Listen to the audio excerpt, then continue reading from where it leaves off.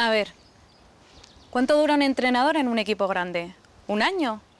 ¿Dos, como mucho? Y cuando empieza a no haber resultado, se cambia de entrenador. Cuando no se juega bonito, se cambia de entrenador.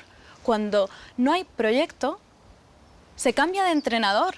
Cuando el otro equipo ya sabe lo que juegas, se cambia de entrenador. Ciclos. Son ciclos. Y ahora mismo nuestro ciclo no da para más.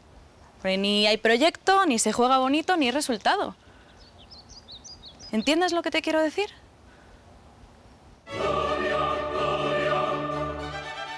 Libero, la revista que a través del fútbol habla sobre cultura, estilo, nostalgia y muchos temas más.